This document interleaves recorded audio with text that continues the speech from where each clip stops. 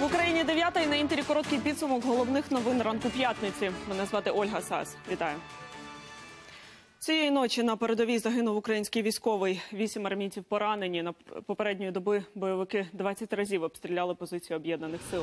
Під міно- мінометним вогнем опинилися опорні пункти поблизу Новоселівки та Лебединського. З гранатометів російські окупанти атакували оборонців Авдіївки та Павлополя. Неподалік Новотроїцького застосували протитанкові ракетні комплекси. На всі ворожі атаки українські вояки відповідали вогнем. За даними розвідки, дев'ятьох окупантів знищено. В Україні запрацював вищий антикорупційний суд. Напередодні там склали присягу 38 суддів. Відбір з кількасот кандидатів тривав 7 місяців за участі міжнародних експертів. Петро Порошенко наголосив, судді, які беруться до виконання обов'язків, будуть незалежними від влади, зокрема і від президента. Створення антикорупційного суду було вимогою західних партнерів та МВФ. І вже влітку туди передадуть понад 200 справ, які розслідували Національне антикорупційне бюро та антикорупційна прокуратура. Минулого року, ухвалюючи профільний закон про вищий антикорупційний суд, ми твердо вірили, що цей суд не тільки посилить судову систему, суд стане справжньою опорою для нашої держави в надзвичайно важливій і чутливій сфері сфері боротьби з корупцією. І через зміни профільного законодавства в Україні працюють європейські стандарти судочинства. Ми вдосконалюємо кримінальний процес, використовуючи найкращі світові практики, насамперед практику Європейського суду з прав людини. Петро Порошенко та Володимир Зеленський сьогодні з візитом у Парижі. Обидва зустрічатимуться з лідером Франції Еммануелем Макроном. За повідомленнями Єлисейського палацу, перемови із Зеленським призначені на 15.00, переговори із Порошенком кількома годинами пізніше. Також відомо, що прийматимуть їх по-різному. Так, президента Петра Порошенка за участю республіканської гвардії. Натомість зустріч з Володимиром Зеленським запланована в неформальній обстановці. 15 квітня останній день, коли можна змінити місце голосування перед другим туром волевиявлення. За офіційними даними, заяви до державного реєстру виборців вже подали понад 80 тисяч громадян. Як просувається процес реєстрації, дізнавались наші кореспонденти. Приблизно 5 мільйонів людей в Україні живуть не за місцем реєстрації. Із них 1 мільйон 400 тисяч – переселенці. Для того, аби скористатися виборчим правом у другому турі, цим громадянам потрібно знову особисто прийти в найближчий відділ Держреєстру виборців. Наталя та Володимир серед тих, хто таки вирішив скористатися виборчим правом. Молодята переїхали в столицю з Донецька. Мы здесь живем полгода, и мы очень рады, что мы можем реализовать свое право на голосование, потому что в прошлый раз нам не предоставилась такая возможность. Світлана також налаштована рішуче. Дівчина живе в Києві 4 роки, переїхала з Горлівки. Перед першим туром на реєстрацію знадобилося два дні. Перед другим принципово ще раз поміняла місце голосування. Дівчина розповідає, ще з ночі люди складали список, а о 9 ранку в черзі було 500 охочих. Я 294-я. Сейчас проходит по 40 человек. Поэтому ждем, будем ждать до конца. Однак не всі такі наполегливі, як Світлана. За даними ЦВК, лише 315 тисяч громадян успішно змінили виборчу адресу перед першим туром. Скільки виборців пройде цю процедуру повторно, невідомо. Адже перед першим туром було передбачено два з половиною місяці для зміни місця голосування, а тепер лише кілька днів. Кінцевий термін – 15 квітня. Це виборчі з окупованих територій. Вони дійсні. Ну, якщо хочуть проголосувати, вони вимушені стояти в чергах, вони вимушені е, отримати це посвідчення. Така ж ситуація з чергами і в інших районних відділках столиці. Але і це не найгостріша проблема. Виявилося, що майже половина переселенців вважали, що не мають права голосувати. Про це йдеться у звіті Міжнародної організації з питань міграції. На э, выборах президента мы имеем право голосовать, а, к сожалению, в, не имеем права участвовать в местных парламентских выборах. А, И это одна из проблем, а, к- э, в в связи с которой многие хотели бы отказаться от статуса переселенца. Олена Зоріна, Наталія Шумакова, Даніель Косаковський та Володимир Самченко. Телеканал Інтер. Нацполіція України разом з Держприкордонслужбою заарештували членів великого наркогруповання. Усього 32 людини. Вони збували свою продукцію на території 13 областей. Щомісячний обіг дилерів становив 10 мільйонів гривень. Організатор бізнесу, раніше судимий уродженець Одеської області, під час обшуків у ділків вилучили майже 2 тонни прекурсорів, близько тисячі пігулок екстазі, зброю, бойову гранату та 3,5 мільйони гривень у різній валюті. За даними поліції, до схеми причетні близько 80 людей. Так звані закладчики це молоді особи віком від 17 до 25 років. Крім того, батьки цих е, молодих людей в переважній більшості знали про кримінальний заробіток своїх чад і сприяли йому цьому, зберігаючи наркотики вдома. Правоохоронцям достеменно відомо про випадок, коли після вживання придбаної продукції у учасників викритої групи особа померла. Скільки таких жертв серед наркозалежних встановити неможливо. Тонна хліба просто неба біля міжнародної траси Київ-Чоп у Радивилівському районі на Рівненщині. Хтось викинув сотні буханців. Хліб знайшли місцеві аграрії під час польових робіт. Наші кореспонденти докладніше. На хлібний смітник у лісосмузі поблизу села Гусари на Рівненщині випадково натрапили працівники агропідприємства, обробляючи поля. Ми вносили мідобрива на це поле. Поступово ми рухались ближче сюди. І як побачили, я бачу спочатку, що це мусор лежить, але як підійшли ближче, це був хліб. Тисячі хлібин у заводській упаковці гниють просто неба. Тут і батони, і буханці, і навіть круасани з різними начинками. І всі від одного виробника. Батон Сихівський, виробник місто Львів. Батон Паприкаш, виробник місто Львів. Хліб уже вкрився цвіллю. На етикетках дата виробництва січень-лютий 2019 року. Коли саме на цій лісосмузі з'явилось хлібне звалище, достеменно ніхто не знає. Місце безлюдне, село далеко, поля в оренді. Неподалік обідають працівники агропідприємства. Таким вандалізмом обурені. Кажуть, в українців хліб має бути на столі, а не на смітнику. Ну це не, не по-людськи. Розумієте, ми сіємо хліб, а люди викидають хліб. Для кого ми то робимо? Можна його й інші цілі для нього знайти. Якщо він вже ну не для вживання він вже не придатний, можна його на переробку пустити для себе тварин. Ну, є варіантів безліч. Від цього звалища до Львова майже 130 кілометрів. Так далеко возити товар, кажуть продавці місцевих крамниць, невигідно, бо є свої ближчі виробники. Радивилівський, Синицький підприємець. Хліб ще ми беремо ТВО, Ровенський, Варковецький. В Львівський хліб нам не привозять. У тамтешніх селах люди вже звикли до чужого сміття. Неподріб із сусідньої області їм підкидають часто. Випадки були, що е, сміття львівське у нас було. Ми так само писали клопотання в міліцію, воно розглядалося. Я, ну, це осінню було. Дві машини львівського сміття. Ну, по чеках ми побачили, що було львівське сміття. Селянам знову доведеться прибирати все самим. Я навіть не, не знаю, як зосередитись, куди його ще діти. Можливо, ну я не знаю, це ж хліб. Я, ну, я чесно вам скажу, що я ще не, не готова дати відповідь, що ми маємо з ним зробити. Виробник переконаний, хліб викинув хтось із несумлінних реалізаторів.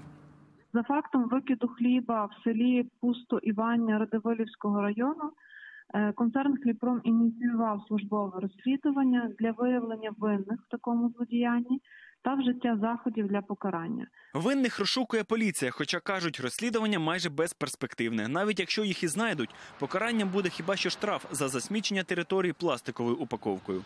Артем Антоненко, Сніжана Сидорук, Микола Василюк. Новини, телеканал Інтер, Рівненська область. Допомоги небайдужих потребує маленький Роман із Дніпра. У хлопчика діагностували вроджений гістіоцитоз. Це досить рідкісне захворювання. За рік лише 3-5 випадків на мільйон населення. Допомогти Романові подолати недугу погодилися лікарі в Іспанії. Виставили рахунок у 118 тисяч євро. Без цієї суми почати лікування не вдасться. На, разговаривай с бабушкой. Маленький Роман намагається активно говорити, хоча поки що вимовляє лише слова мама і бабуся. Дуже непосидючий, рветься бігати. Утім, зі слів мами, йому категорично заборонено навіть стояти на ногах, не те, що бігати. У хлопчика вроджений гістоцитоз із клітини Лангерганса. Сложность данного случая в том, что есть поражение различных органов и систем. Это поражение костной системы, и позвоночники, м, и ребро, это поражение кожи, поражение селезенки, костного мозга, Поэтому такие дети, они, конечно, лечатся сложно и долго. Коли хлопчику виповнилося три місяці, він уперше потрапив до лікарні з висипкою по всьому тілу. Медики призначили антибіотики, та не допомогло. За кілька тижнів знову з'явилися червоні цяточки.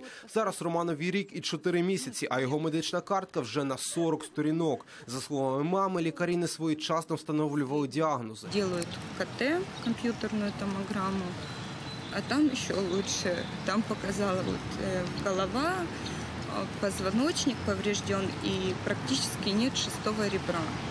Ну, то есть вот, вот почему он не хотел на животе лежать, вот почему он не хотел ходить. Я, конечно, очень огорчена, что столько много времени не могли поставить диагноз и столько много у него поражений. На початку квітня хлопчик уже пройшов перший курс хіміотерапії. Та чи не руйнуватимуться кістки надалі, невідомо. Найбільше Яна непокоїться, що злоякісні клітини можуть вразити органи. Жінка вже звернулася про допомогу до закордонних медиків. Зголосилося їх прийняти в Іспанії. Там мають позитивний досвід лікування цієї недуги. Проте спершу мама має сплатити 118 тисяч євро. У родини такої шаленої суми немає. Я мать-одиночка, живу с мамой, с маленьким ребенком. Но у нас нет такой возможности. Ну а ребенка спасать нужно. Лечили антибиотиками все это время, постоянно чем-то залечивали, только не тем. Просто заболевание редкое, З допомогою небайдужих мамі Романа вже вдалося зібрати 20 тисяч доларів. Та цього вистачить лише на діагностику за кордоном. Другий етап хіміотерапії має початися за тиждень. На збір необхідної суми в родини є лише кілька днів. Гліб Баврилов, Олена Мандалюк, Іван Біленко. Новини телеканал Інтер. Подарувати Романові шанс на щасливе дитинство можете і ви. Мама та бабуся просять усіх небайдужих долучитися до збирання коштів. Банківські реквізити ви зараз бачите на екрані. Також їх можна знайти на нашому сайті подробності.ua у розділі Ми допомагаємо.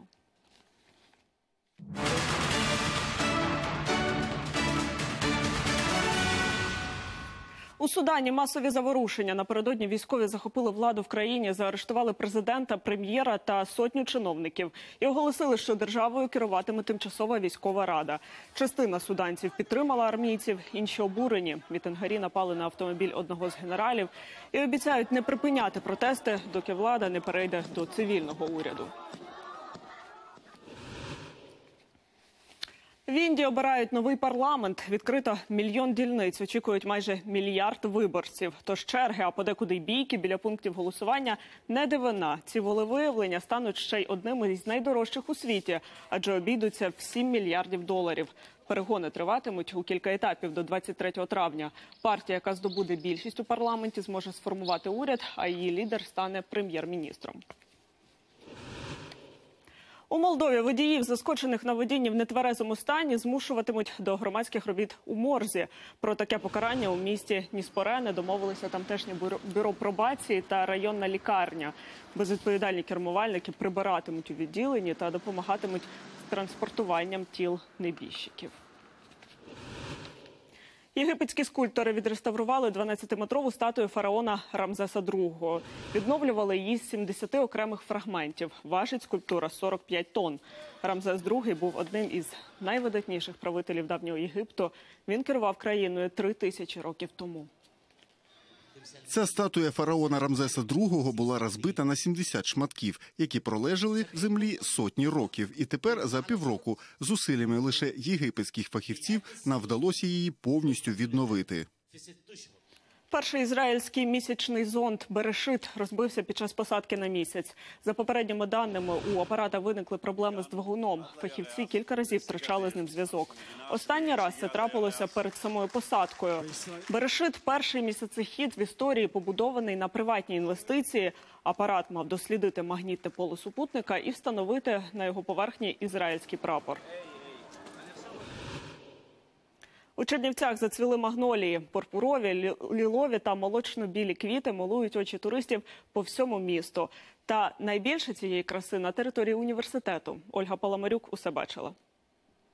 Сезон фотографій, е, відео, бумерангів, інстаграмів, Інстаграм. історій. е, Все в магнолі. Все. Замість пар у сад на фотосесію. Двір резиденції Чернівецького національного університету навесні нагадує справжній ботанічний сад. Студенти наввипередки фотографуються біля екзотичних дерев. Перший курс все ж таки, лиш початок, все цікаво, все хочеться подивитись, пофотографувати.